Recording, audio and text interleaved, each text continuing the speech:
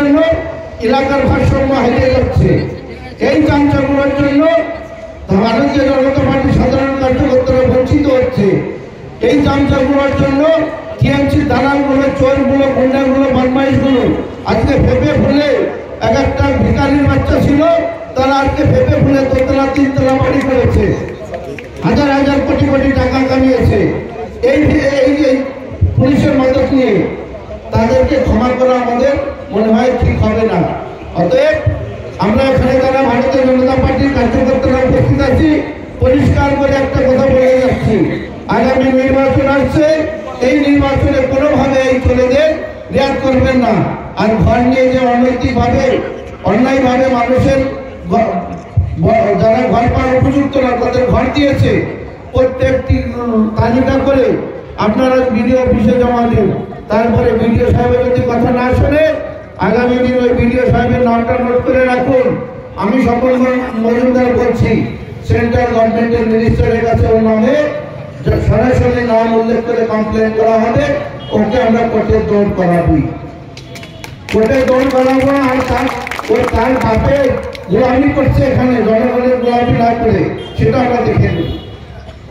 সাধারণ জনগণের কাজ করতে এসে যদি কারও ওই গোলামি না করে বাড়ি চলে যান ওই বইটি পড়ার উপযুক্ত নেই আপনারা। অতএব আমাদের ভয় পাওয়ার কিছু নেই, আরও প্রিয় তারপরে তাকে বলব। এই ওসি বা আইসি কি আছে আমি জানি না। যদি আগামী দিনে আপনাদের এই যে এই ধরনের কাজ করেছে, তাকে অ্যারেস্ট করে সাজা না দেয় আগামী দিনে আরও বৃহৎ আন্দোলন করে এই ওসি যে থানার পাশে ওই থানাকে আগুন আগুন দিয়ে জ্বালিয়ে দিতে ফেলে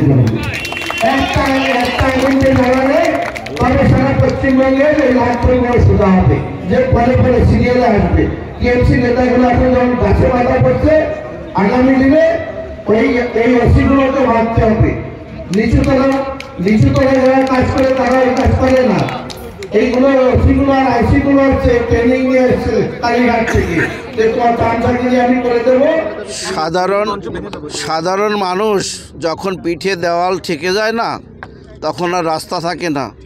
আমাদের একাধিক কার্যকর্তাকে গাছে ঝুলিয়ে দিয়েছে। আমরা বিগত দু হাজার উনিশের পরে দুশোর বেশি কার্যকর্তার দেহ ভারতীয় জনতা পার্টির দেহ আমাদের শ্মশানে নিয়ে যেতে হয়েছে।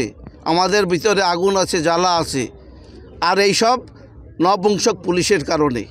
তাদেরকে আমরা কি পুজো করব? তারা তাদের ডিউটি পালন করুক তাদের প্রতি আমাদের কোনো ক্ষোভ নেই। তারা ডিউটি পালন করবে না, আগামী দিনে অস্ত্র তুলে ধরতে আমাদের কোনো আপত্তি নেই। কারণ হচ্ছে আমরা শান্তি চাই। আমরা বাংলায় গণতন্ত্র চাই। গণতন্ত্রকে যেভাবে টিএমসি সরকার আসার পরে হত্যা করা হচ্ছে, নৈতিক অধিকারকে, আমরা গত দু হাজার পঞ্চায়েত নির্বাচন দেখেছি, সব, সমস্ত মানুষকে গণতান্ত্রিকভাবে তাদের হত্যা করা হয়েছে, তাদের ভোট লুট করা হয়েছে, তাদের নমিনেশন করতে দেওয়া হয়নি। আর এই মদত দিয়েছে কে? এই পুলিশ দলদাস পুলিশ। তাদেরকে কি বলতে পারি আমি? একজন আইসি একজন মেরেছে তাকে অ্যারেস্ট কেন করেনি এখনও পর্যন্ত? জবাব দিতে পারবে? আইসি হোক বা এখানে ওসি আছে আমি জানি না যদি মামলা হবে তো আপনার নামে? মামলা এরকম মামলা অনেক খেয়েছি কিছু যায় আসে না আমাদের। মামলা আমরাও করব। ও পুলিশ কেন এখনও পর্যন্ত অ্যাকশন নেয়নি?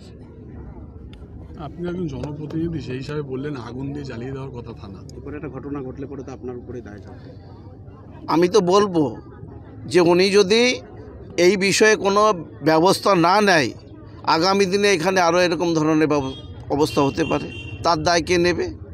আমি বলেছি তার দায় আমাকে নিতে হবে তারা করাচ্ছে তার দায় তারা নেবে না। আমাদের ভিডিও ভালো লাগলে লাইক এবং শেয়ার করুন। কমেন্ট সেকশনে গিয়ে জানান আপনাদের মতামত। আরও ভিডিও পেতে আমাদের চ্যানেল সাবস্ক্রাইব করুন এবং প্রতি মুহূর্তে খবরের আপডেট পেতে প্রেস করুন বেল আইকন।